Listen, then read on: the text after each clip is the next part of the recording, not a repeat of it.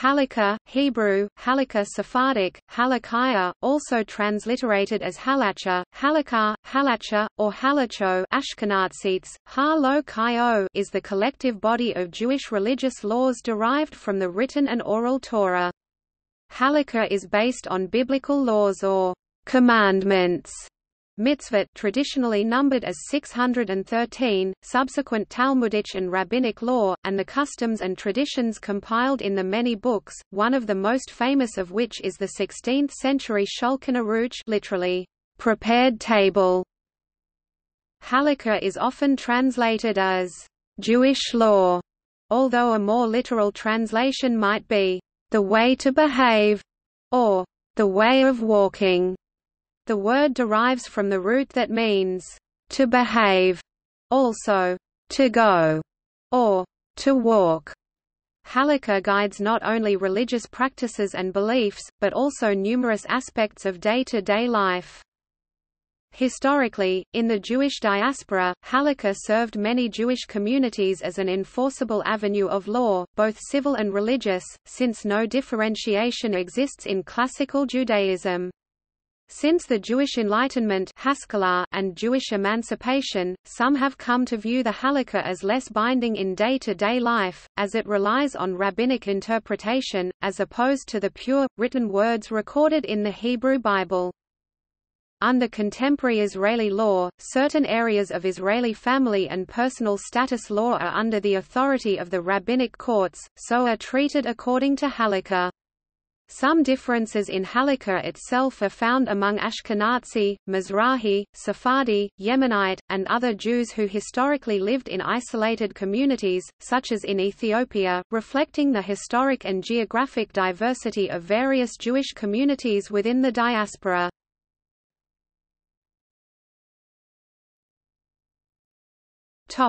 Etymology and terminology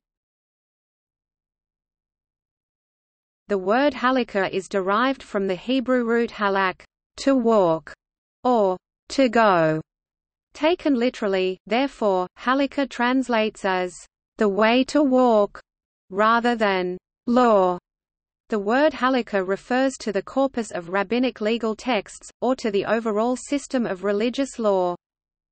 The term may also be related to Akkadian ilku, a property tax, rendered in Aramaic as halak, designating one or several obligations. Halakha is often contrasted with aggadah, the telling, the diverse corpus of rabbinic exegetical, narrative, philosophical, mystical, and other non-legal texts. At the same time, since writers of Halakha may draw upon the Aggadic and even mystical literature, a dynamic interchange occurs between the genres. Halakha also does not include the parts of the Torah not related to commandments. Halakha constitutes the practical application of the 613 mitzvot commandments in the Torah, as developed through discussion and debate in the classical rabbinic literature, especially the Mishnah and the Talmud the oral Torah, and as codified in the Mishneh Torah, recapitulation of the Torah, or Shulchan Aruch, code of law. Because halakha is developed and applied by various halakhic authorities rather than one sole official voice, Different individuals and communities may well have different answers to halakhic questions.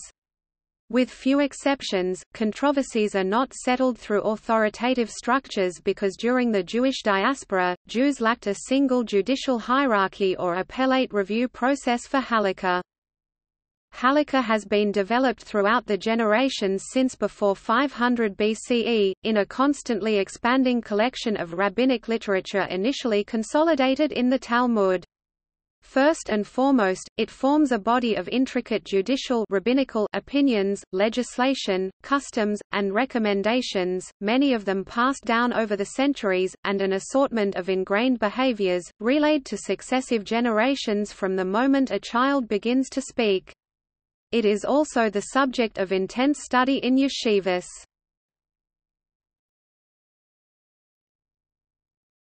Topic: The 613 mitzvot. Broadly, the halakha comprises the practical application of the 613 mitzvot in the Torah, as developed in subsequent rabbinic literature. According to the Talmud Tractate Makot, 613 mitzvot are in the Torah, 248 positive, thou shall, mitzvot and 365 negative, thou shall not, mitzvot, supplemented by seven mitzvot legislated by the rabbis of antiquity.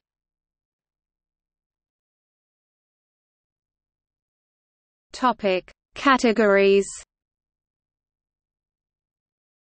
Classical Rabbinic Judaism has two basic categories of laws.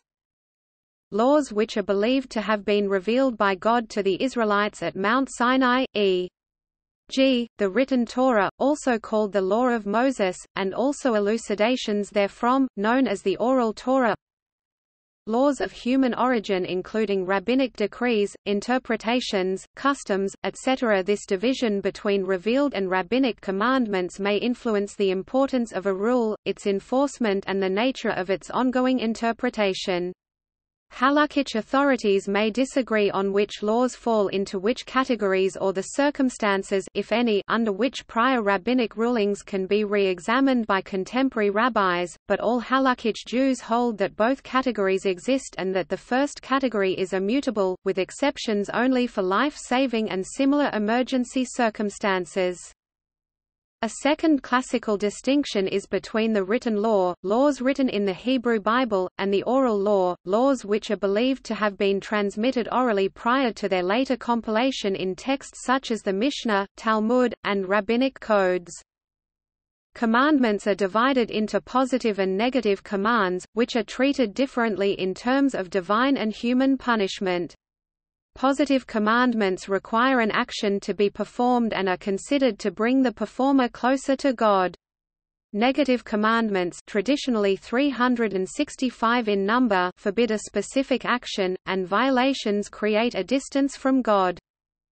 A further division is made between chukim decrees, laws without obvious explanation, such as shatnez, the law prohibiting wearing clothing made of mixtures of linen and wool, mishpatim, judgments, laws with obvious social implications and edayot testimonies, or commemorations, such as the Shabbat and holidays. Through the ages, various rabbinical authorities have classified some of the 613 commandments in many ways. A different approach divides the laws into a different set of categories. Laws in relation to God Bein Adam LaMakom, literally, between a person and the place, and laws about relations with other people Bein Adam le Chavero, literally, between a person and his friend. Within Talmudic literature, Jewish law is divided into the six orders of the Mishnah, which are categories by proximate subject matter, zeraim, seeds, for agricultural laws and prayer, moed, festival, for the Sabbath and the festivals, nashim, women, dealing primarily with marriage and divorce, nezikin, damages, for civil and criminal law, kodashim, holy things, for sacrifices and the dietary laws, and tohoro, purities, for ritual purity. However, Talmudic texts often deal with laws outside these apparent subject categories. As a result, Jewish law came to be categorized in other ways in the post-Talmudic period. In the major codes of Jewish law, two other main categorization schemes are found. Maimonides' Mishneh Torah divides the laws into 14 sections. The codification efforts that culminated in the Shulchan Aruch divide the law into four sections, including only laws that do not depend on being physically present in the land of Israel.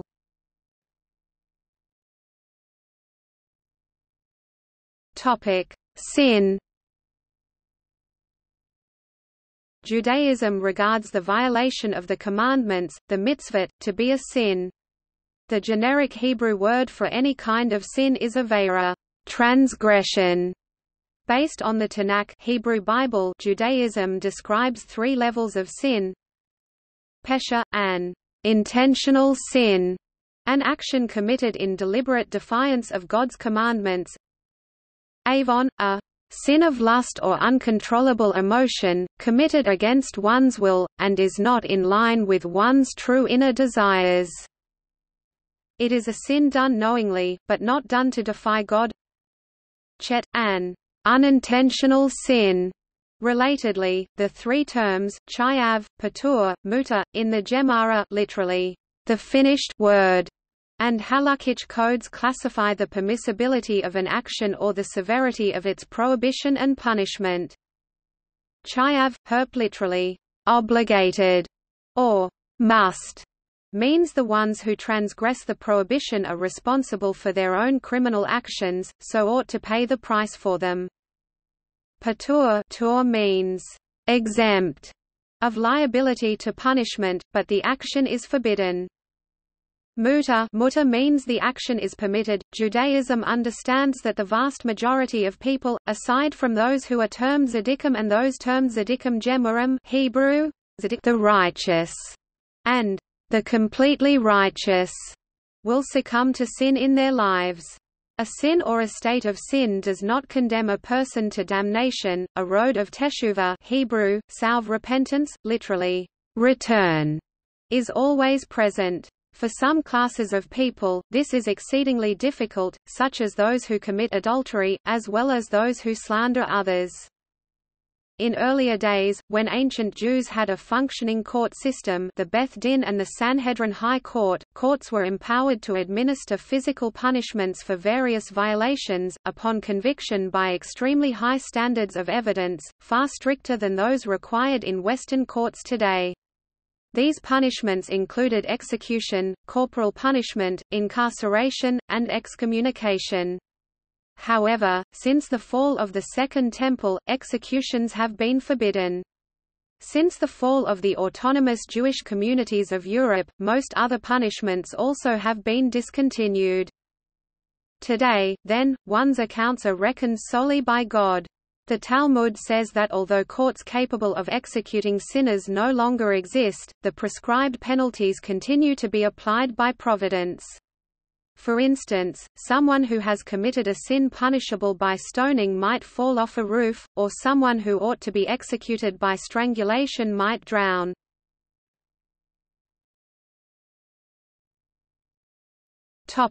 Gentiles and Jewish law The Seven Laws of Noah, also referred to as the Noahide laws or the Noachide laws, are a set of imperatives which, according to the Talmud, were given by God as a binding set of laws for the children of Noah, that is, all of humanity.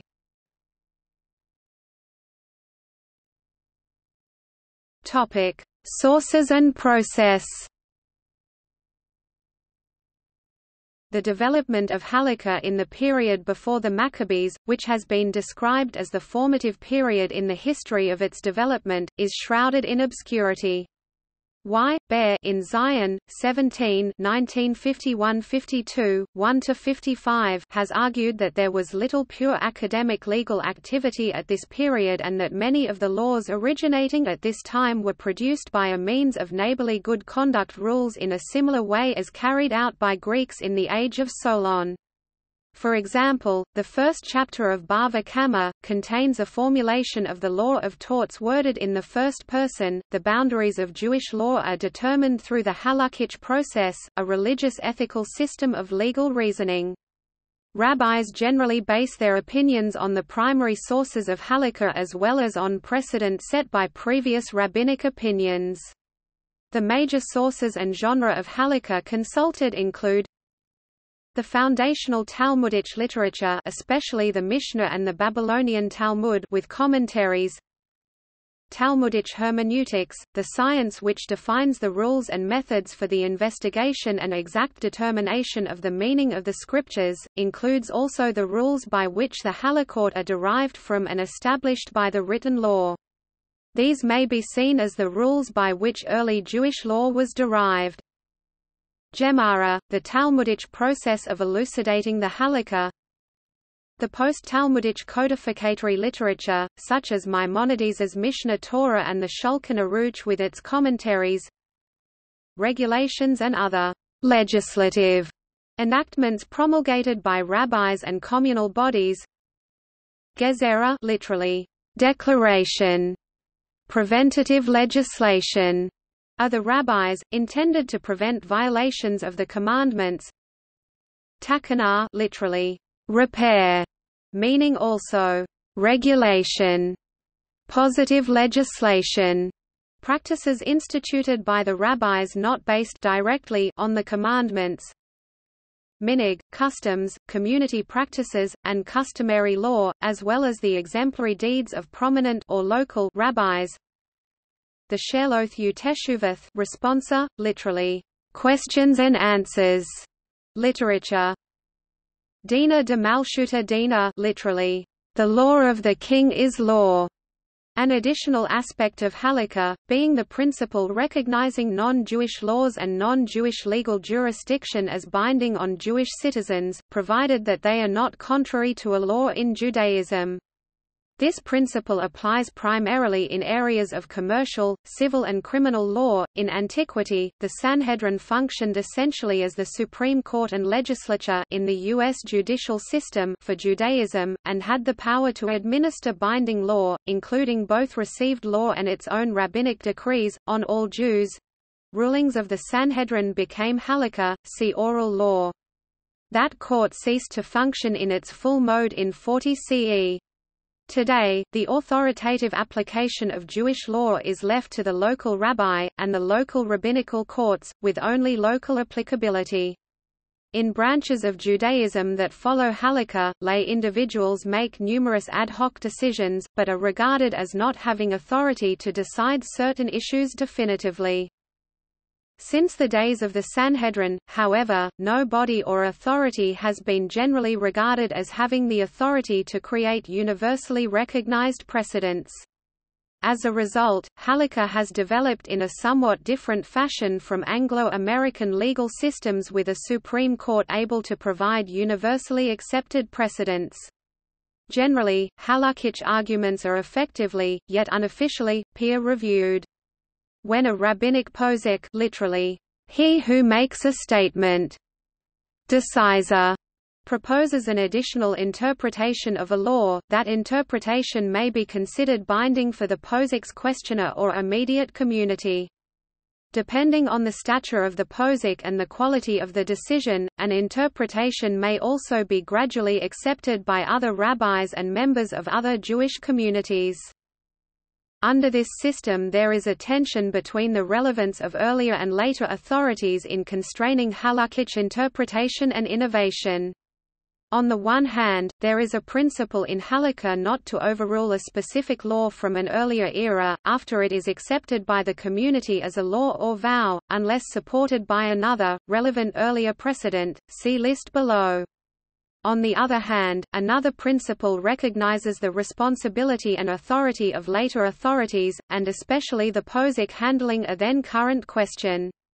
In addition, the halakha embodies a wide range of principles that permit judicial discretion and deviation ben Menahem. Notwithstanding the potential for innovation, rabbis and Jewish communities differ greatly on how they make changes in halakha. Notably, poskim frequently extend the application of a law to new situations, but do not consider such applications as constituting a change in halakha. For example, many Orthodox rulings concerning electricity are derived from rulings concerning fire, as closing an electrical circuit may cause a spark. In contrast, conservative poskim consider that switching on electrical equipment is physically and chemically more like turning on a water tap which is permissible by halakha than lighting a fire which is not permissible, and therefore permitted on Shabbat.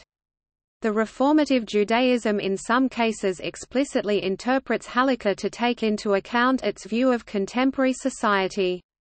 For instance, most conservative rabbis extend the application of certain Jewish obligations and permissible activities to women see how halakha is viewed today below. Within certain Jewish communities, formal organized bodies do exist. Within modern Orthodox Judaism, there is no one committee or leader, but modern U.S.-based Orthodox rabbis generally agree with the views set by consensus by the leaders of the Rabbinical Council of America. Within conservative Judaism, the Rabbinical Assembly has an official committee on Jewish law and standards. Note that takanot, the plural form of takana above, in general do not affect or restrict observance of Torah mitzvot. In common parlance sometimes people use the general term takana to refer either gezerot or takanot, however, the Talmud states that in exceptional cases, the sages had the authority to uproot matters from the Torah in Talmudic and classical halakhic literature, this authority refers to the authority to prohibit some things that would otherwise be biblically sanctioned shev v'al ta'aseh, literally, thou shalt stay seated and not do. Rabbis may rule that a specific mitzvah from the Torah should not be performed, e.g., blowing the shofar on Shabbat, or taking the lulav and etrog on Shabbat. These examples of takanot which may be executed out of caution lest some might otherwise carry the mentioned items between home and the synagogue, thus inadvertently violating a Sabbath melakha. Another rare and limited form of takana involved overriding Torah prohibitions. In some cases, the sages allowed the temporary violation of a prohibition in order to maintain the Jewish system as a whole. This was part of the basis for Esther's relationship with Ahasuerus For general usage of takant in Jewish history see the article takanah. For examples of this being used in conservative Judaism, see conservative halakha.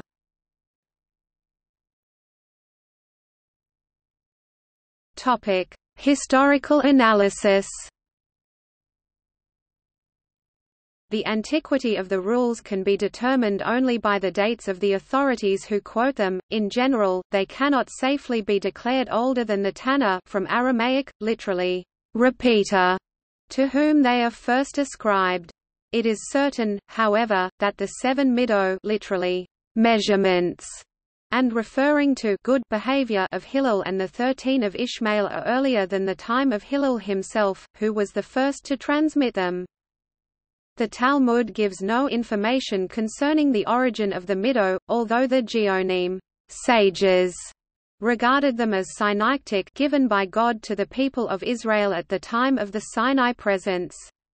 Modern historians believe that it is decidedly erroneous to consider the Mido as traditional from the time of Moses on Sinai.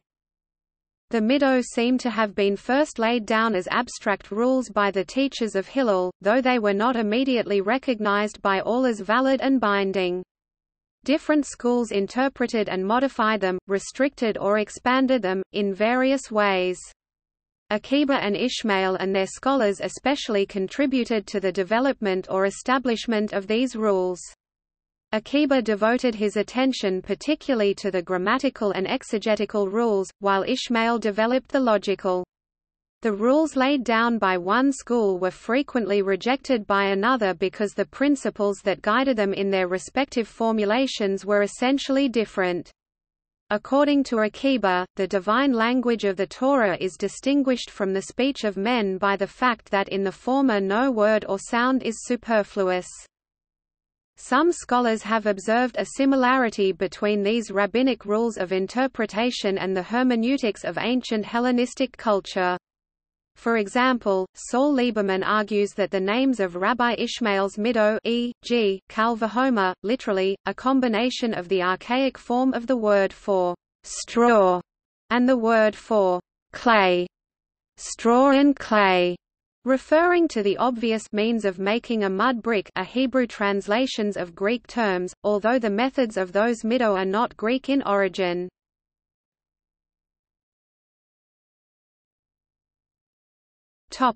Views today Orthodox Judaism holds that halakha is the divine law as laid out in the Torah five books of Moses, rabbinical laws, rabbinical decrees, and customs combined.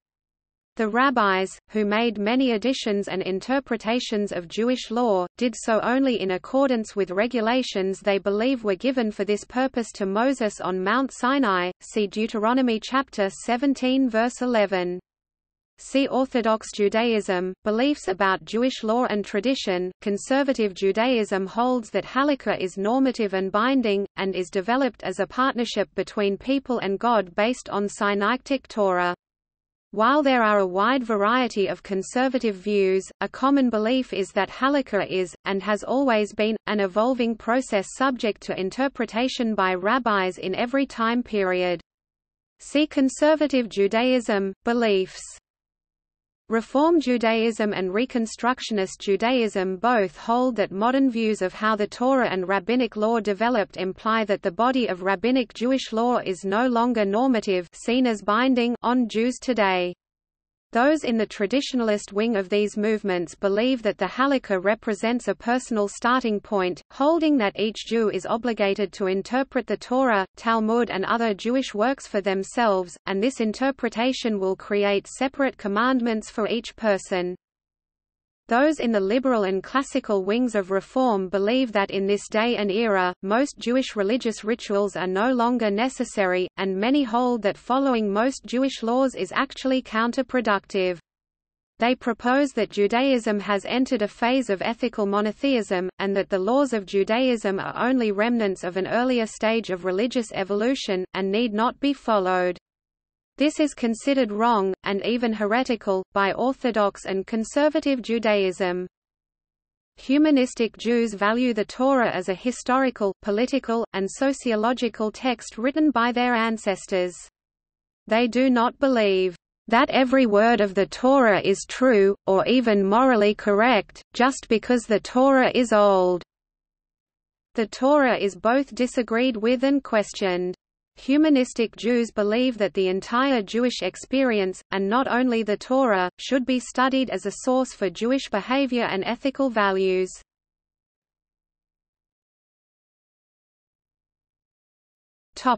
Flexibility. Despite its internal rigidity, Halakha has a degree of flexibility in finding solutions to modern problems that are not explicitly mentioned in the Torah. From the very beginnings of Rabbinic Judaism, halakhic inquiry allowed for a sense of continuity between past and present, a self-evident trust that their pattern of life and belief now conformed to the sacred patterns and beliefs presented by scripture and tradition. According to an analysis by Jewish scholar Jeffrey Rubenstein of Michael Berger's book Rabbinic Authority, the authority that rabbis hold derives not from the institutional or personal authority of the sages but from a communal decision to recognize that authority, much as a community recognizes a certain judicial system to resolve its disputes and interpret its laws. Given this covenantal relationship, rabbis are charged with connecting their contemporary community with the traditions and precedents of the past. When presented with contemporary issues, rabbis go through a halakhic process to find an answer. The classical approach has permitted new rulings regarding modern technology. For example, some of these rulings guide Jewish observers about the proper use of electricity on the Sabbath and holidays. Often, as to the applicability of the law in any given situation, the proviso is to consult your local rabbi or posek. This notion lends rabbis a certain degree of local authority, however, for more complex questions the issue is passed on to higher rabbis who will then issue a teshuvat, which is a responsa that is binding. Indeed, rabbis will continuously issue different opinions and will constantly review each other's work so as to maintain the truest sense of halakha. Overall, this process allows rabbis to maintain connection of traditional Jewish law to modern life. Of course, the degree of flexibility depends on the sect of Judaism, with Reform being the most flexible, Conservative somewhat in the middle, and Orthodox being much more stringent and rigid. Modern critics, however, have charged that with the rise of movements that challenge the divine Authority of Halakha, traditional Jews have greater reluctance to change, not only the laws themselves but also other customs and habits, than traditional rabbinical Judaism did prior to the advent of Reform in the 19th century.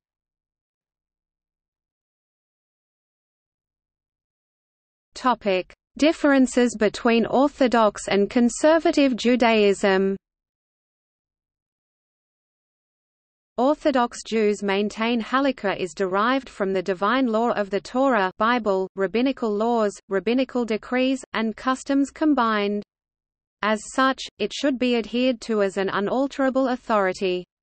They also believe there are traditional formulas that date back to Moses on how the divine law may be interpreted, see above, "...rules by which early Jewish law was derived." Conservative Jews have varied views regarding the origin of the Torah and its authority today, and believe it can be continuously reinterpreted. Their view of Halakha has given rise to substantial differences in approach as well as result.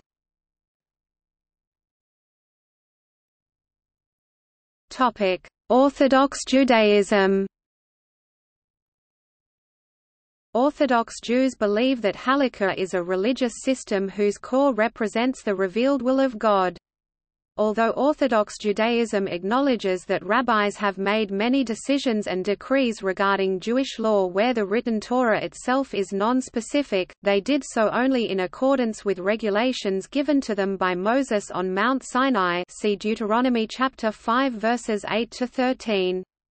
These regulations were transmitted orally until shortly after the destruction of the Second Temple. They were then recorded in the Mishnah, and explained in the Talmud and commentaries throughout history, including today. Orthodox Judaism believes that subsequent interpretations have been derived with the utmost accuracy and care. The most widely accepted codes of Jewish law are known as Mishneh Torah and the Shulchan Aruch. No rabbi has the right to change Jewish law, unless he clearly understands how it coincides with the precepts of the Talmud and later codes of Jewish law. Later commentaries were accepted by many rabbis as final, however, other rabbis may disagree. Orthodox Judaism has a range of opinions on the circumstances and extent to which change is permissible. Haredi Jews generally hold that even minhagim customs must be retained, and existing precedents cannot be reconsidered. Modern Orthodox authorities are generally more inclined to permit limited changes in customs, and some reconsideration of precedent. All Orthodox authorities, however, agree that only later rabbinical interpretations are subject to reconsideration, and hold that core sources of divine written and oral law, such as the Torah, the Mishnah, and the Talmud, cannot be overridden.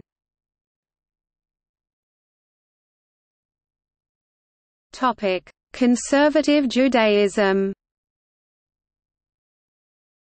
One view held by conservative Judaism is that while God is real, the Torah is not the word of God in a literal sense.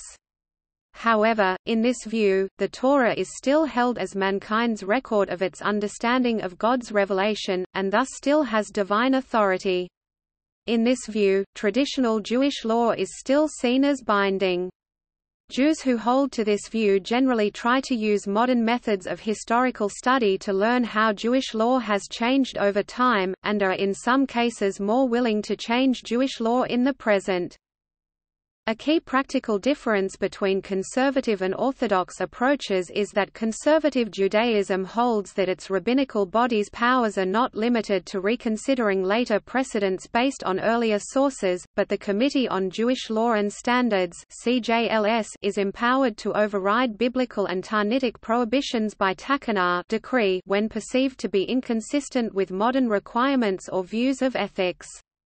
The CJLS has used this power on a number of occasions, most famously in the driving teshuvah which says that if someone is unable to walk to any synagogue on the Sabbath, and their commitment to observance is so loose that not attending synagogue may lead them to drop it altogether, their rabbi may give them a dispensation to drive there and back, and more recently in its decision prohibiting the taking of evidence on mamzer status on the grounds that implementing such a status is immoral.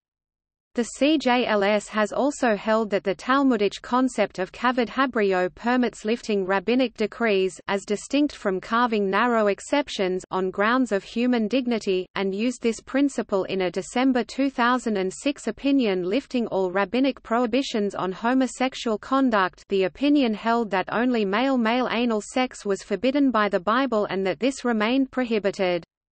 Conservative Judaism also made a number of changes to the role of women in Judaism, including counting women in the minyan, permitting women to chant from the Torah, and ordaining women as rabbis.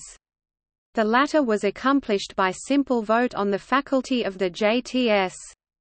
Orthodox Judaism holds that takanot rabbinical decrees can only supplement and can never nullify biblical law, and significant decisions must be accompanied by scholarly responsa citing sources and halakhic precedent.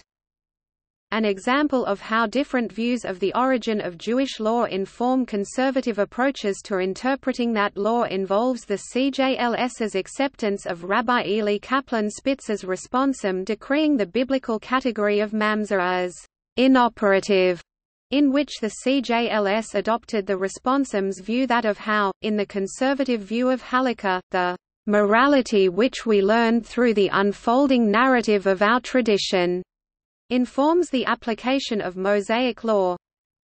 We cannot conceive of God sanctioning undeserved suffering.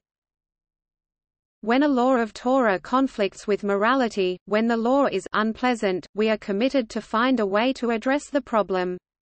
We are willing to do explicitly what was largely implicit in the past, namely, to make changes when needed on moral grounds. It is our desire to strengthen Torah that forces us to recognize, explicitly the overriding importance of morality, a morality which we learn from the larger, unfolding narrative of our tradition. The responsum cited several examples of how, in Spitz's view, the rabbinic sages declined to enforce punishments explicitly mandated by Torah law. The examples include the trial of the accused adulteress Sota, the law of the breaking of the neck of the heifer, and the application of the death penalty for the rebellious child. Spitz argues that the punishment of the mamzer has been effectively inoperative for nearly 2,000 years due to deliberate rabbinic inaction with a few rule-proving counterexamples, including the 18th-century Orthodox rabbi Ishmael ha-Kohen of Modena, who decreed that a child should have the word mamzer tattooed to his forehead. Further he suggested that the rabbis have long regarded the punishment declared by the Torah as immoral, and came to the conclusion that no court should agree to hear testimony on mamzerut. His motion was passed by the CJLS. The decision represented a watershed for conservative Judaism because it represented an explicit abrogation of a biblical injunction on the grounds of contemporary morality, as distinct from exigency. The dissenters, who included Rabbi Joel Roth as well as a partial concurrence by Rabbi Daniel Nevins, argued for reaffirming the classical halakhic framework in which human decrees inform and often limit but never wholly abrogate law believed to be of divine origin, stating that, "...we should acknowledge that God's law is beyond our authority to eliminate." But should continue the traditional approach of applying strict evidentiary rules and presumptions that tend to render enforcement unlikely. He also argued that the current framework is moral, both because proving mamzer status sufficiently beyond all doubt is already so difficult that it is rare, and because the mere existence and possibility of mamzerut status, even if rarely enforced, creates an important incentive for divorcing parties to obtain a get Jewish religious divorce to avoid the sin of adultery. He cited a responsum by prominent Haredi Orthodox Rabbi Ovadia Yosef as an example of how the traditional approach works. Rabbi Yosef was faced with the child of a woman who had left a religious marriage without religious divorce and had a child in the second marriage, seemingly an open and shut case of mamzer status. Rabbi Yosef proceeded to systematically discredit the evidence that the former marriage had ever taken place. The ketubah was mysteriously not found and hence disqualified, and the officiating rabbi's testimony was never sufficiently corroborated and hence not credible. Rabbi Yosef then found reason to doubt that the new husband was ever the father, finding that because the ex-husband occasionally delivered alimony personally, an ancient presumption one of many that any time a husband and wife are alone together the law presumes intercourse has taken place governed the case. He held that Jewish law could not disprove, and hence had to conclude, that the original husband really was the child's father and there was no case of mamzer status.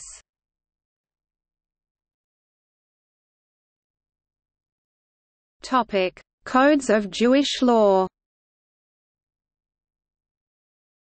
There are many formal codes of Jewish law that have developed over the past 2000 years. These codes have influenced, and in turn, have been influenced by, the responsa. History of responsa thus provides an informative complement to the survey below. The Torah and the Talmud are not formal codes of law, they are sources of law.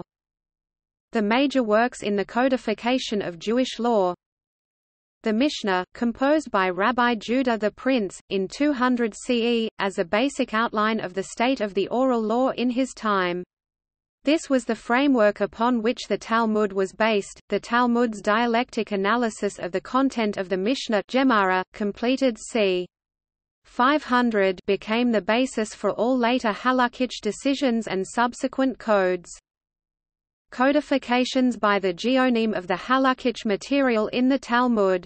An early work, Sheiltot Questions by Achai of Shabcha c. 752, discusses over 190 mitzvot, exploring and addressing various questions on these.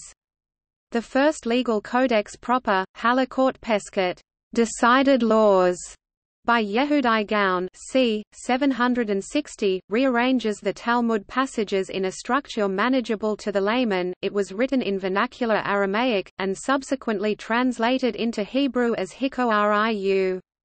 Halakot Gedolot, Great Law Book, by R. Simeon Kayara, published two generations later, contains extensive additional material, mainly from responsa and monographs of the Geonim, and is presented in a form that is closer to the original Talmud language and structure, probably since it was distributed. Also, amongst the newly established Ashkenazi communities, the Sheiltot was influential on both subsequent works. The Hilchot of the Rif, Rabbi Isaac Alfasi (1013–1103), summations of the legal material in the Talmud. Alfasi transcribed the Talmud's halakhic conclusions verbatim, without the surrounding deliberation. He also excludes all aggadic non-legal, homiletic matter. The Hilchot soon superseded the Geonic codes, as it contained all the decisions and laws then relevant, and additionally, served as an accessible Talmudic commentary. It has been printed with almost every subsequent edition of the Talmud. The Mishneh Torah by Maimonides 1135 1204 this work encompasses the full range of Talmudic law, it is organized and reformulated in a logical system, in 14 books, 83 sections and 1,000 chapters, with each halakha stated clearly. The Mishneh Torah is very influential to this day, and several later works reproduce passages verbatim. It also includes a section on metaphysics and fundamental beliefs. Some claim this section draws heavily on Aristotelian science and metaphysics, others suggest that it is within the tradition of Saadia Gaon. It is the main source of practical halakha for many Yemenite Jews, mainly Baladi and Dor Daim, as well as for a growing community referred to as Talmidei Harambam. The work of the Rosh, Rabbi Asher ben Jehiel (1250–1259–1328), an abstract of the Talmud, concisely stating the final halakhic decision and quoting later authorities, notably Alfasi, Maimonides, and the Tosafists. This work superseded Rabbi Alfasi's and has been printed with almost every subsequent edition of the Talmud. The Sefer Mitzvot Gadol, the Semag of Rabbi Moses ben Jacob of Coucy first half of the 13th century, Coucy, northern France. Semag is organized around the 365 negative and the 248 positive commandments, separately discussing each of them according to the Talmud in light of the commentaries of Rashi and the Tosafot and the other codes existent at the time. Sefer Mitzvot Katan Semak, by Isaac ben Joseph of Corbeil is an abridgment of the Semag, including additional practical halakha, as well as aggadic and ethical material. The Mordecai, by Mordecai ben Hillel, d. Nuremberg 1298 serves both as a source of analysis, as well of decided law. Mordecai considered about 350 halakhic authorities, and was widely influential, particularly amongst the Ashkenazi and Italian communities. Although organized around the Hilchot of the Rif, it is, in fact, an independent work. It has been printed with every edition of the Talmud since 1482. The Arba the Tur, lit. The Four Columns, by Rabbi Jacob ben Asher (1270–1343), Toledo, Spain. This work traces the Halakha from the Torah text and the Talmud through the Rishonim, with the Hilchot of Alfasi as its starting point. Ben Asher followed Maimonides' precedent in arranging his work in a topical order, however, the Tur covers only those areas of Jewish law that were in force in the author's time. The code is divided into four main sections, almost all codes since this time have followed the Tur's arrangement of material. Orach the way of life, worship and ritual observance in the home and synagogue, through the course of the day, the weekly Sabbath and the festival cycle. Yoreh De'ah teach knowledge, assorted ritual prohibitions, dietary laws and regulations concerning menstrual impurity. Even Ha'ezer, the rock of the helpmate, marriage, divorce and other issues in family law. Choshen Mishpat, the breastplate of judgment, the administration and adjudication of civil law. The Beit Yosef, and the Shulchan Aruch of Rabbi Yosef Karo 1488 The Beit Yosef is a huge commentary on the Tur in which Rabbi Karo traces the development of each law from the Talmud through later rabbinical literature examining 32 authorities, beginning with the Talmud and ending with the works of Rabbi Israel Isserlin. The Shulchan Aruch is, in turn, a condensation of the Beit Yosef, stating each ruling simply literally translated, Shulchan Aruch means, set table. This work follows the chapter divisions of the Tur. The Shulchan Aruch, together with its related commentaries, is considered by many to be the most authoritative compilation of halakha since the Talmud. In writing the Shulchan Aruch, Rabbi Karo based his rulings on three authorities, Maimonides, Asher ben Jehiel Rosh, and Isaac Alfasi Rif. .He considered the Mordecai in inconclusive cases. Sephardic Jews, generally, refer to the Shulchan Aruch as the basis for their daily practice. The works of Rabbi Moshe Isserles Rima, Kraków, Poland, 1525–1572. Rima noted that the Shulchan Aruch was based on the Sephardic tradition, and he created a series of glosses to be appended to the text of the Shulchan Aruch for cases where Sephardi and Ashkenazi customs differed, based on the works of Yaakov Moelin, Israel Isserlin, and Israel Bruna. The glosses are called HaMappa, the tablecloth, for the set table his comments are now incorporated into the body of all printed editions of the Shulchan Aruch, typeset in a different script. Today, Shulchan Aruch refers to the combined work of Karo and Isserles. Isserles's Darkei Moshe is similarly a commentary on the Tur and the Beit Yosef. The Levush Malchut Levush of Rabbi Mordecai Yoffe c. 1530–1612 a ten-volume work, five discussing halakha at a level midway between the two extremes, the lengthy Beit Yosef of Karo on the one hand, and on the other Karo's Shulchan Aruch together with the Mappa of Isserles, which is too brief. That particularly stresses the customs and practices of the Jews of Eastern Europe. The Levush was exceptional among the codes, in that it treated certain halachot from a Kabbalistic standpoint. The Shulchan Aruch Harav of Rabbi Shneur Zalman of Liadi c. 1800 was an attempt to recodify the law as it stood at that time incorporating commentaries on the Shulchan Aruch, and subsequent responsa, and thus stating the decided halakha, as well as the underlying reasoning. The work was written, partly, so that laymen would be able to study Jewish law. Unfortunately, most of the work was lost in a fire prior to publication. It is the basis of practice for Chabad Lubavitch and other Hasidic groups, and is quoted as authoritative by many subsequent works, Hasidic and non-Hasidic alike. Likutei Halakot c. 1800, Collected Laws, also a Hasidic work, follows the order of topics in the Shulchan Aruch, explaining them in the light of Breslover teachings.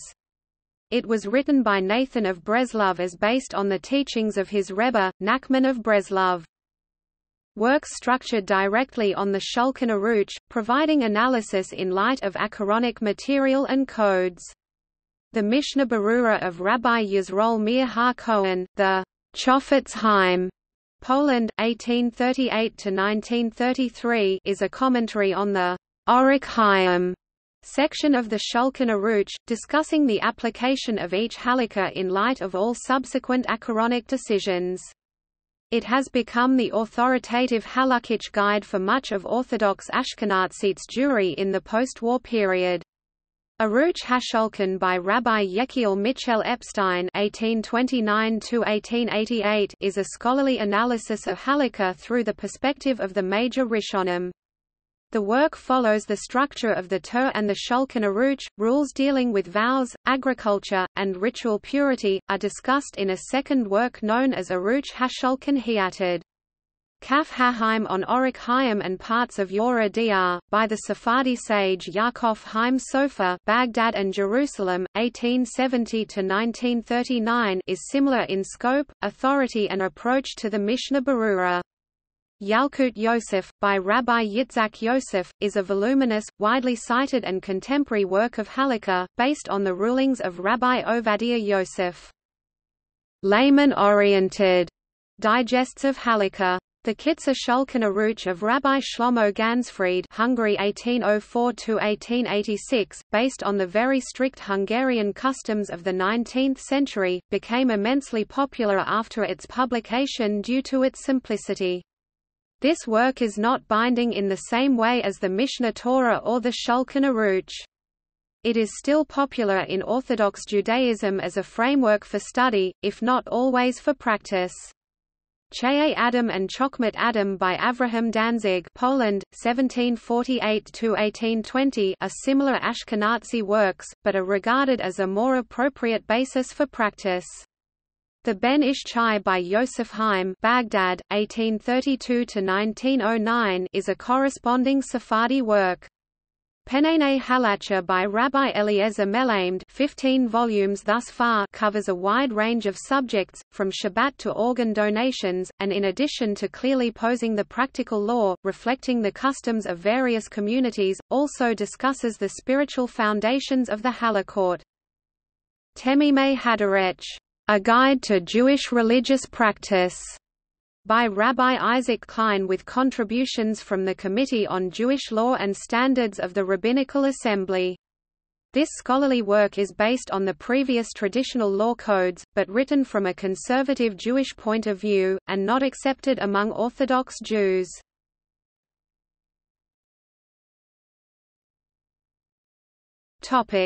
See also Antinomianism. Baraita of Rabbi Ishmael. Jewish ethics. Jewish medical ethics. Mishpat Ivri Sharia